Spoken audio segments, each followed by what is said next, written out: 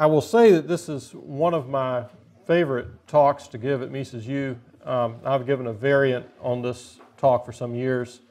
Um, I've had family members in the medical profession, and uh, my earliest interest in economics was partly about the monetary issues, but partly about uh, healthcare policy. And so um, I've enjoyed over the years being able to follow what's happened in, in medical care, but I have not enjoyed the trend toward greater government involvement in medical care. I think that that's been damaging to health. I think it's been damaging to our economy. And uh, I hope to show you a few reasons why I think that um, here in, in this short talk. Um, I want to say a few things first about statistics. Um, there is a common caricature of Austrian economists that we don't like statistics or that we don't like uh, numbers, um, that we've got some kind of aversion to um, looking at uh, data. And I'd like to dispel that. That's not the case. Um, we do use data, uh, numerical data, quantitative data, but we're very careful about it. And we are cognizant of the limitations of statistics. Um, there are plenty of Austrian economists who, without you know, becoming heretics or something, have used statistical information. Uh, but we're, we're aware that there are some problems, especially when you start aggregating, uh, and then you, if, if, you, if you're not very careful with how you, or what you're doing when you're aggregating, you can lead, uh, uh lead your readers to some, some pretty bad conclusions. So I'd like to give you an example of this, and um, I'll use something that came up in a talk that I heard earlier this year at my uh, college, at Wofford College. This is something you may have seen in one form or another yourself. There's a common uh, criticism of American medical care that our infant mortality rates are high compared to other countries and our life expectancies are low compared to other countries that are of a similar economic um, stratum. So you, will see information like this here. Um, these are some OECD countries, more or less in our economic neighborhood. And you can see the life expectancy at birth in 2013 in the left-hand column, and then infant mortality per thousand live births uh, there in the middle column, and then the percentage of the population over 65 in the right-hand column. So uh, what you see here is life expectancy is 78.8 in the United States. That is the lowest life expectancy in this list, uh, lower by about two and a half years than the OECD median life expectancy. The infant mortality rate per thousand live births in 2013 was 6.1. Uh, the OECD median is 3.5, and I think we are in this list the highest rate of infant mortality. Uh, we can't explain this, um, this uh, life expectancy problem uh, by looking at uh, the, the age of the population. It's not like we've got a, an unusually elderly population. In fact, we've got, compared to uh, many of these other countries, we've got a fairly low population over 65. So critics of the market approach to medical care will say, we'll see here we've got this um, relatively free market American medical care system and it's failing us. See, we've got a high level of infant mortality, we've got a high uh, or low life expectancy, and therefore, you know, compared to some other countries that have more uh, single payer systems or have more government involvement than we do in the United States, we're, we're not doing well. So let's think about this um, one, one kind of disclaimer I want to make here, first of all, is I am not going to make the argument that the United States is some sort of free market medical care system. It is not, okay?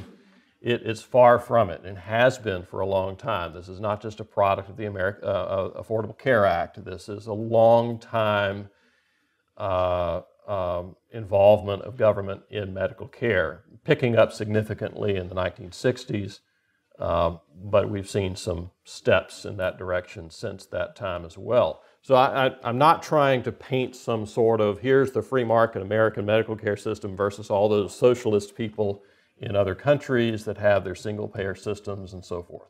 That's, that's, not, that's not what we're looking at. But let's think about these statistics here, and I think this will give you an idea of some of the problems we face in trying to do some research on this kind of issue. Let's suppose we were to look at the rate of survival of patients of a highly skilled and experienced, highly reputed surgeon in some field. What would you expect the survival rate for patients of that highly regarded surgeon to be compared to other surgeons? Lower? Why? They take the hardest patients. But if they take the harder patients, the more difficult cases, that would tend to make their survival rates lower, not higher, right?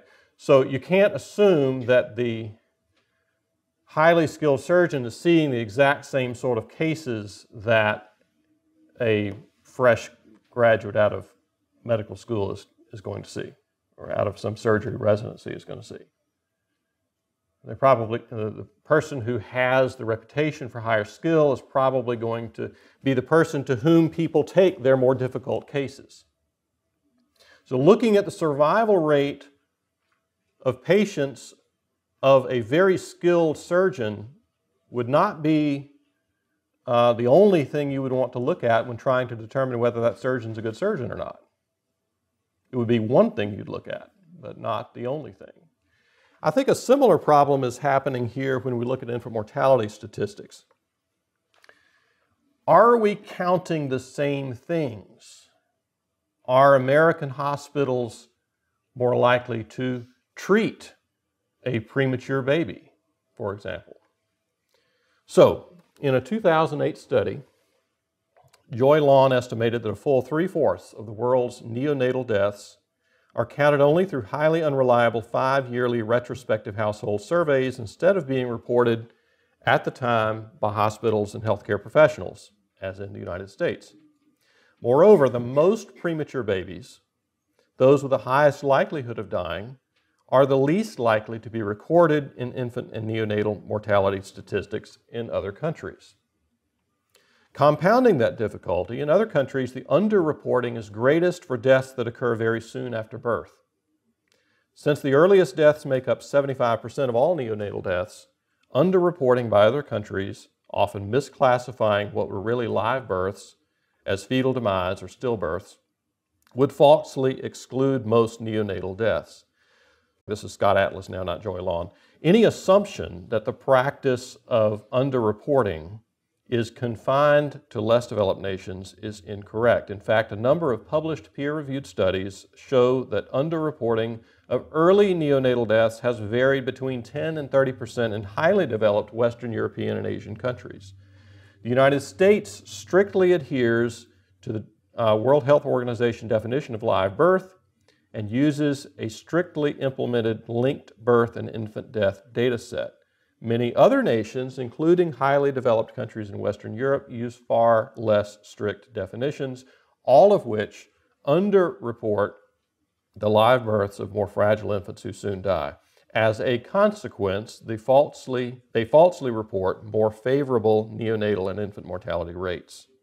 And I, I would go on, uh, you can read more about this uh, elsewhere if you want more information on this. Um, but uh, this has generated a kind of uh, um, apples and oranges problem in looking at something as critical as infant mortality rates. infant mortality rates are very important for life expectancy numbers. Because if you have an infant death, you're essentially adding a zero into your, your average. Okay? So if, if someone uh, dies at um, you know, three days old, uh, you're losing 80 something years perhaps of, of life expectancy. Uh, if someone dies at age 75, you're losing whatever life expectancy is. It's not exactly the average minus 75 because a person age 75 has a longer life expectancy because they've already survived a lot of the of the um, uh, things that'll that'll kill you when you're younger. Uh, but you're not losing as many uh, uh, life years, expected life years. I know this can this can be taken as a kind of a morbid discussion here, but uh, I hope you understand the importance of getting our numbers right and comparing the right thing. If you're comparing the U.S. infant mortality numbers to a country in Western Europe that has a more straightforwardly socialist medical system, we have to be sure that we're comparing the same, or counting the same things. And in fact, we are not. Uh, the United States also is uh, more aggressive about resuscitating very premature infants, meaning that very premature infants are even more likely to be categorized as live births in the United States, even though they have a small chance of surviving.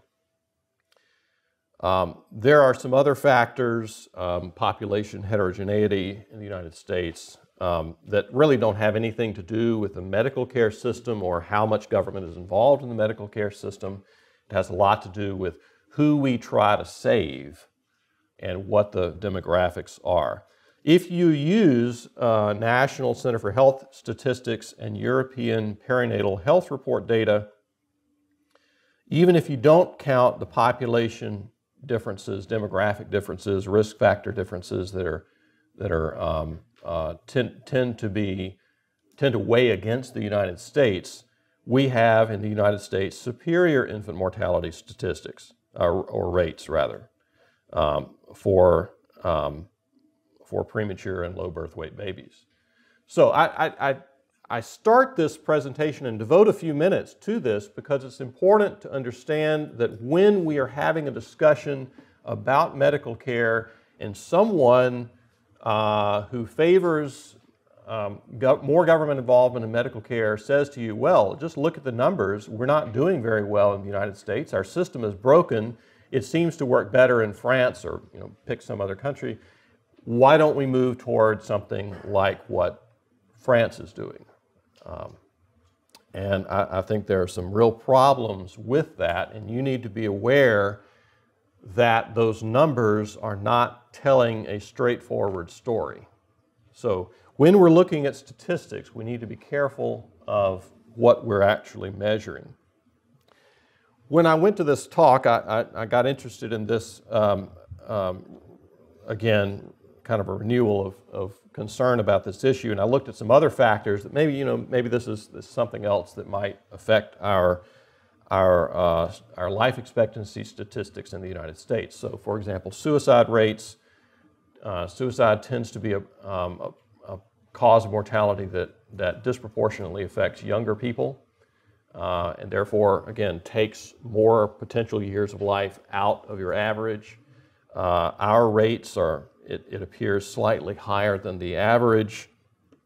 Um, if you look at two, uh, 2014 data, which I have here for countries uh, that, again, are roughly in our economic neighborhood, we see that the United States rate is slightly higher than average it's not some kind of um, below average number that, that would reduce our life expectancy statistics. This is probably not a big reason for that gap that you see between the United States and the OECD median for life expectancy. Uh, this one might be, though. Motor vehicle crash deaths tend to affect younger people more than older people. And the United States has a uh, pretty high motor vehicle crash death rate compared to many countries that are in our economic neighborhood. Part of this may be that we drive more miles on the highway. Uh, but this is not something that can be laid entirely at the feet of the medical care system. And, and, and if we have a larger proportion of Americans who are getting hurt and killed in, in car accidents, uh, we, can't, we can't say, well, you know, th- that's because we have um, markets uh, that are relatively more influential in our medical care system in the United States. Now, we do have very high cost, and this is another kind of leg of that argument that is, is commonly advanced against the market as a, a mechanism for providing medical care. There are a couple of reasons that we might see this sort of high expenditure. One is maybe we're getting better medical care. Maybe we're getting more out of this. Uh, and I think there is an argument to be made that some of that medical expenditure is, in fact, purchasing better medical care. Uh, on the other hand, perhaps we're seeing elevated costs for other reasons that are uh, not so beneficial to American health. Vijay Boyapati, uh, points out uh, four reasons for rising medical costs in the United States. One is, he says, employer provided health insurance, which came as a result of high tax rates during World War II and the effort of employers to provide employees with a non taxable benefit. And courts um, uh, ruled in the 1940s that if an employer provides medical care or medical insurance to a, an employee, that is not a taxable benefit. So that means that in order to avoid taxes, employers have an incentive to provide a lot of health insurance. This is a third party payer, and we'll get back to that later. If you have someone else paying your medical bills, how careful are you going to be about uh, costs? Answer not very. A second reason is medical licensure. We'll talk about that as well. Uh, third, the obesity epidemic and fourth, he says intellectual property, that is, patents on drugs and other medical equipment and devices. If you look at uh, some of the um, um, arguments about healthcare cost growth, many of them have to do with a kind of a moral hazard problem. And that is, if someone else is paying your bills, either government or an insurance company or a charity, um, then you're not going to be as careful about your medical costs. For example, uh, a number of years ago, I was having some back trouble. Uh, went to a doctor about it. The doctor said, I'd like you to get an MRI. Uh, and so I said, okay. Um, and I called either that day or the next day and scheduled an MRI. Um, within a day or two. Try that in some countries.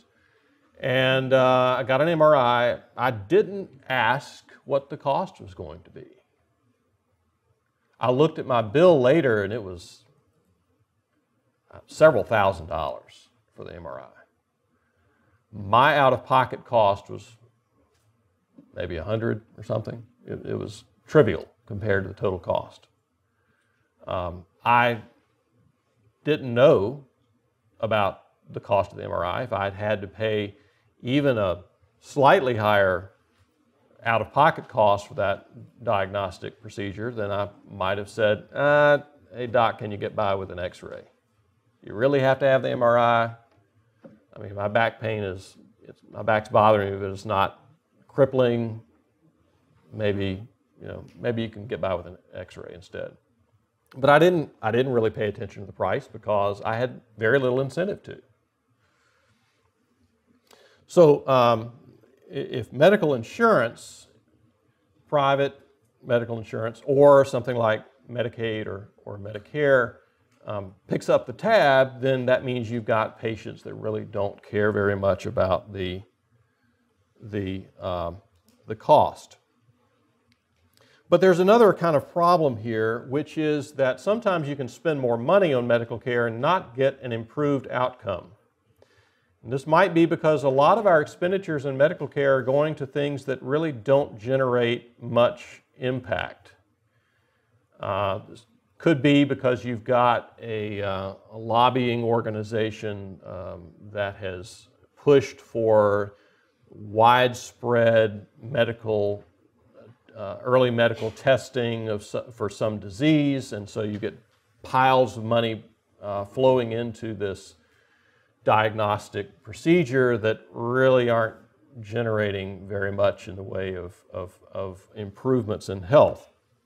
So this has been referred to uh, as flat of the curve medicine, where you're spending more on medical care, but the additional gains from that spending are very low or non existent. There's a famous experiment conducted about five years ago um, in Oregon where they um, randomly assigned increased medical benefits, Medicaid benefits, to 10,000 individuals. Had a kind of a lottery. If your name gets drawn, then you get the extra medical benefits. Uh, if your name doesn't get drawn, you don't. And then they looked at the differences in medical or, or health outcomes between those two groups. And they found that, in fact, uh, the expanded Medicaid coverage generated no significant improvements in health outcomes in the first two years, despite increased use of prescription drugs, office visits, preventive care services, including mammograms, and annual spending per individual in excess of $1,100. So it's possible to spend more money and not get much of a result.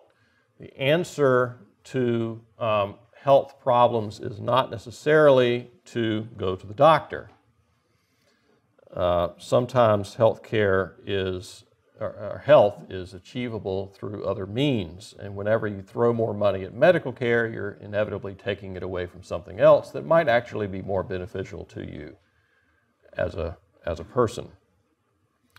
So, um, Increased medical spending is not necessarily welfare enhancing. I'm skipping over some of this in the interest of time, but we can end up kind of spinning our wheels with buying new technology and, and making doctor visits more available to people and not getting something that is, that is helpful. Fundamentally, we could end up spending a lot of money on insurance that causes people to go visit the doctor more often or take advantage of diagnostic techniques and end up not really improving our, our health. Um, but I think a, a, key part of understanding the medical cost increases in the United States is our third party medical care system. Um, and again, we've seen this since the 1940s uh, expanded in the 1960s with the advent of Medicare, Medicaid, which puts a, an intermediary, either the government or an insurance company, in between the patient and the care provider. So the care providers, doctors, the nurses, whoever else is, uh, is trying to help, is perhaps paying more attention, or at least is incentivized to pay more attention to the bureaucrat or the representative of the third party payer than to the patient. The bureaucrat is maybe a thousand miles away and gets a summary of the interaction between the patient and the doctor. So you go to the doctor, the doctor writes a few things down, or more often now is typing them down into a form. Um, and that form with the stripped down information about the patient and the symptoms and the proposed treatment ends up going off to this office somewhere where somebody far removed from actually laying eyes on the patient and, hearing exactly what the doctor hears and all the nonverbal communication that's going on, that bureaucrat is then going to look at this, this very uh, abridged record of that, of that visit and then make a determination about whether the doctor did the right thing. This is one of the reasons that doctors do not appreciate, in many cases, electronic medical records. It's not that they are um, opposed to technology per se, it's that very often electronic medical records, for which there's been a really big push in recent years, are um, uh, aggravating this kind of illusion that the bureaucrat has enough information to make this kind of decision about whether the doctor did the right thing or not and made the correct diagnosis, suggested the right treatment, and so on. So that's, that's a real problem when you've got a, a care provider who can be um, ultimately prosecuted and maybe have a license removed for doing something that makes sense when you consider the full range of information that the doctor has when talking to the patient, but that's not really reflected in the, in the uh, stripped down medical record provided to um, Medicaid or provided to an insurance company. So as a result of this, we've seen, uh, well, partly as a result of this, we've seen an increase in medical care costs. And this is a diagram that it's getting a little bit out of date because it goes only as far as 2012, but you can see at least over a 20-year period, medical care costs have increased at a far uh, more rapid pace than inflation in general. Uh, inflation being measured by something like the Consumer Price Index, which we understand there are problems with that too. But uh, medical care increases at a rapid rate. Now, tomorrow I'm giving a talk on the crises in higher education. And I'm going to point out something very similar with higher education, and actually the reasons are connected. Uh, who's been funding more and more of the cost of higher education? Government. So if third parties are paying, if government's paying the bill, you don't care as much about the cost. Now, toward the bottom of this is a purple line indicating cosmetic services. This is not Mary Kay, this is, this is cosmetic surgery and, and that sort of thing.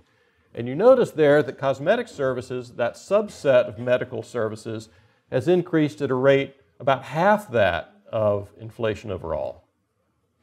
Why would that be? Why would we see such a low rate of increase in the cost of cosmetic services as opposed to medical care in general or physician services in general? And perhaps that it has something to do with the fact that insurance companies, Medicaid, Medicare, et cetera, do not pay for elective cosmetic procedures. So you are on your own. You're paying out of your own pocket for those kinds of things, which makes you a better shopper or a more careful shopper. It means that you're going to avoid um, unnecessarily expensive procedures. There's some other things going on here too. Maybe some technology has improved in that area compared to some other parts of medical care. But if you look at cosmetic services, that has that I think reflects the um, benefits of direct pay. I've talked a bit about the competing standards in medical care. Um, the patient is in this mix with a lot of other institutions. The employer is selecting a, an insurance plan. The insurance company is providing some uh, direction, for better or worse, to the medical provider and is also lobbying the government. It would be great if an insurance company could get the government to mandate its services, wouldn't it? Wouldn't that be fantastic if you're an insurance company, you can get the government to require people to buy what you have to offer? Hmm. Uh, so then the government regulates the care provider and regulates and regulates and regulates, as well as regulating the insurance companies. Insurance companies, in exchange for getting their product mandated, uh, also are required to provide uh, different bundles of insurance um, than was perhaps once the case. So the, the patient gets kind of lost in this, and especially once you consider where the money is coming from. These percentages may be a little bit off now, they're, they're several years old, but uh, it's clear that the majority of the money that is going to a doctor or hospital or other medical provider is, um, is not coming directly from the patient. And so when the doctor or hospital is paying attention to uh, where the dollars are coming from, that rarely includes the uh, patient. The patient is unfortunately sometimes lost in this process. And then we have the Affordable Care Act. And this is, I, I had this original diagram and then I started drawing all these other things on there to try to show how this works. And it, it's, it's come out quite complex because, of course, it is complex. And so the federal government mandates patients to get medical uh, insurance.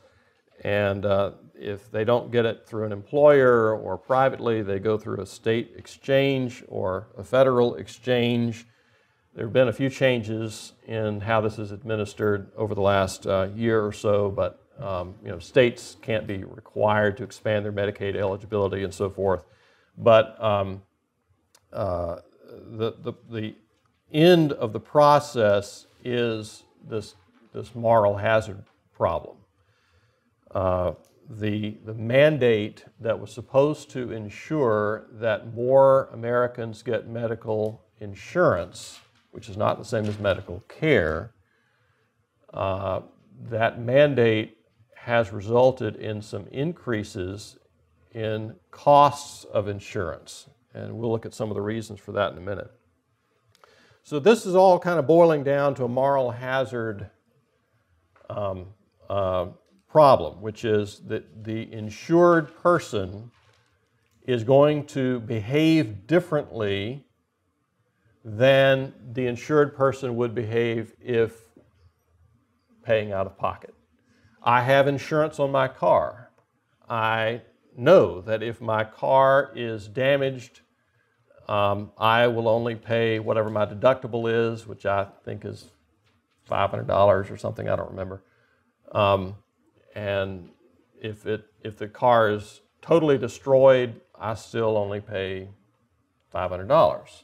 I might see an increase in my future premiums, but the vast majority of that cost would be absorbed by my insurance company. So I'm more likely to leave my car parked on the street where it's more likely to get sideswiped by another vehicle. I'm more likely to leave my car parked in the driveway instead of the garage where uh, hail could damage my car, which in fact did happen.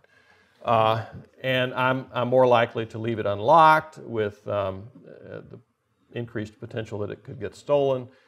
I'm, I'm careful about it, but I'm not as careful as I would be if I didn't have insurance. Now, there are some market oriented ways to avoid this problem. Insurance, conventional medical insurance as we've known it in the United States for a long time, is a kind of a use it or lose it proposition, which means if you don't use the benefit that your insurance company would pay for, you don't get anything. If you pay out of pocket uh, for the majority of medical services, then um, anything that you don't spend, you keep. So that, that's why your incentives are different with out-of-pocket pay. But of course, we know that out-of-pocket pay could get very expensive very fast if something serious happens. And so um, we, we do have certain risks that are uh, um, we would want to have insurance for. And that's where a health savings account is helpful. I read yesterday that uh, Congress is considering an expansion of the availability of healthcare savings accounts. I'm not familiar with all the details. This is all very much in flux right now. I just read a few sentences yesterday in a, in a uh, brief news story on this, but apparently this is this is coming up to uh, up for um, discussion as uh, something that we we might expand. I would regard that as a good thing because that puts more control in the hands of the patient. It uh, takes um, it, it, makes the patient a, a uh, typically better shopper because the patient is the person who is able to keep whatever is not spent on medical care. I pay an insurance premium, I'm never going to see that money again unless I get sick. If I contribute to a healthcare savings account and I don't get sick, I keep the money, essentially. Uh, so there are some advantages to this. I won't go into all the details here, but there is a, still a role for insurance, but it's not that very low deductible insurance that we typically see in the U.S., where your deductible is you know, $300 or $500 or something like that, uh, which uh, means that the, the trigger on filing a claim is very low. Um, it's, it's, uh, it doesn't take very many pounds of pressure to, to, to get that, that insurance company involved. If you have a high deductible on insurance, say $2,500 or something, then if something really bad happens to you, insurance picks up the tab. But for the vast majority of your run of the mill medical services that you demand every year, um, that would come out of this healthcare savings account. You contribute to that um, sort of like you do with an insurance premium, except that if, again, if you don't use it, you get to keep it. And that, um, that makes people better shoppers. It removes that third party payer um, somewhat from the decision process. Let me just say a couple of things more on, um, on the, the medical costs and whether they're worthwhile. So there's a, there was a this study in Health Affairs uh, several years ago by Philipson, Eber et al. About seven authors there, but uh, what they say, and here's the abstract for their study. They say the United States spends more on health care than other developed countries, but some argue that U.S. patients do not derive sufficient benefit from this extra spending. We studied whether higher U.S. cancer care costs compared with those of 10 European countries were worth it by looking at the survival differences for cancer patients in those countries compared to the relative cost of cancer care. We found that U.S. cancer patients experienced greater survival gains than their European counterparts, even after considering higher U.S. costs this investment generated about $600 billion of additional value for U.S. patients. Uh, the value was highest for prostate cancer patients, breast cancer patients, and they do not seem to have been driven solely by earlier diagnosis. So, this is one indication that perhaps, um, at least in some parts of medical care, the costs that we are paying have been worthwhile. If you look at the added years of life, added quality of life, perhaps we we may see some gains. The um, survival benefits are worth something.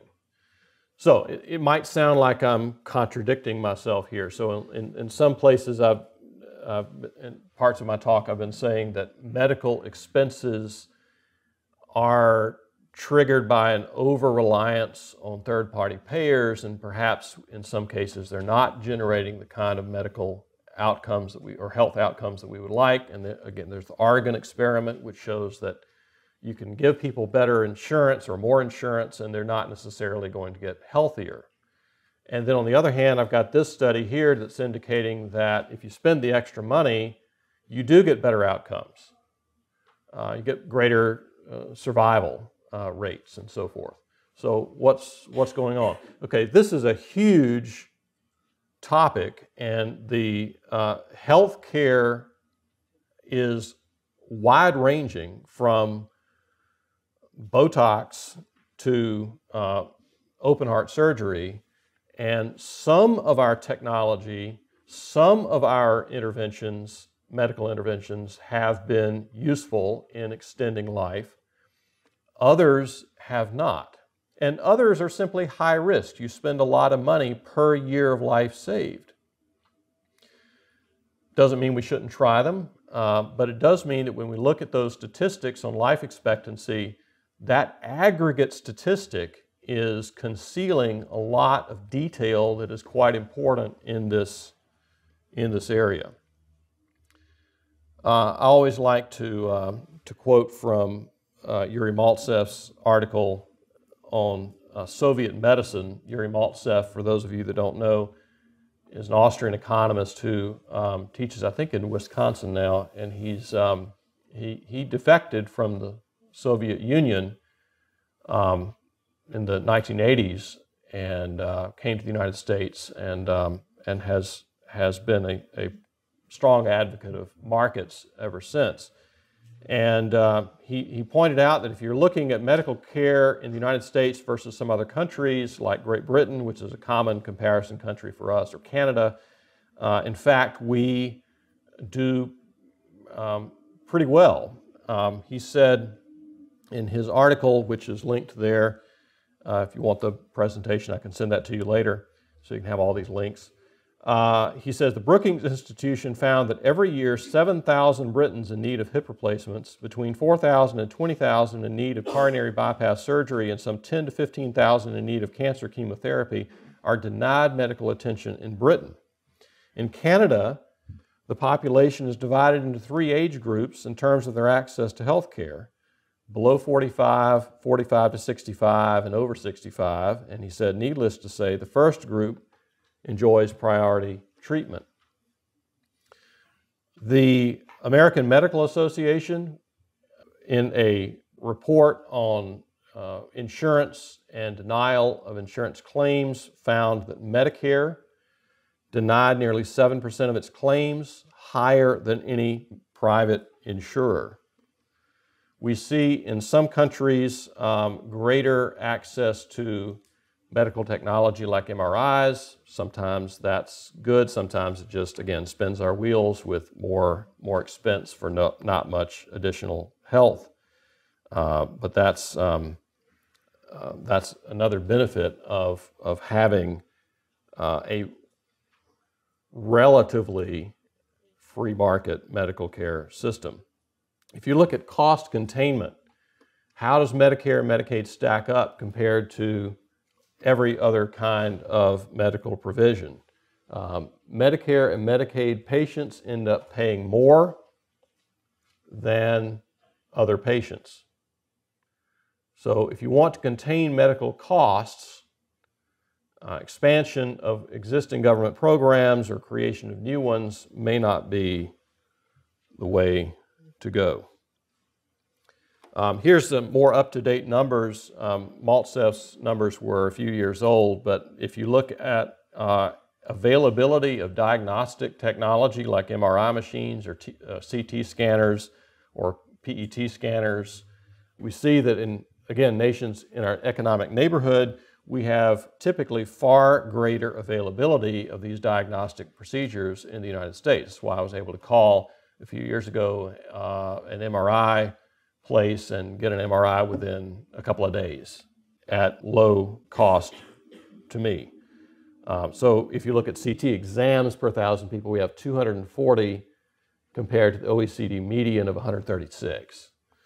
If you look at uh, mammography machines, this is a very politicized kind of industry, so I'm not trying to say that this is an some sort of unadulterated endorsement of, of um, markets as a expander of, of medical technology. This, the whole, whole breast cancer industry has been heavily politicized, but you can see that in the United States, which is on the far right of that diagram there, right next to Korea, the diamond there is the total number of mammography machines per million inhabitants. These are 2015 numbers.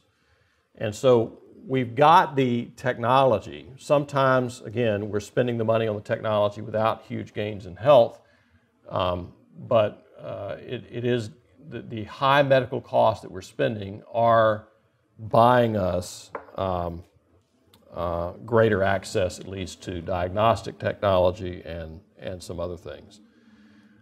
It's also buying us shorter wait times. You can pay in dollars or you can pay in your wait time. And if you've got a very serious medical condition, you know that wait times can be um, literally painful and also, also lead to uh, an exacerbation or aggravation of your condition. So um, if you have to wait a long time to see a specialist, that is definitely not to your advantage. It might be cheaper, but if you have to wait and your condition becomes more serious, you might have wished that you could have paid more and gotten seen um, faster. I am out of time. I had 45 minutes, but thank you very much for attending, and I'll be happy to answer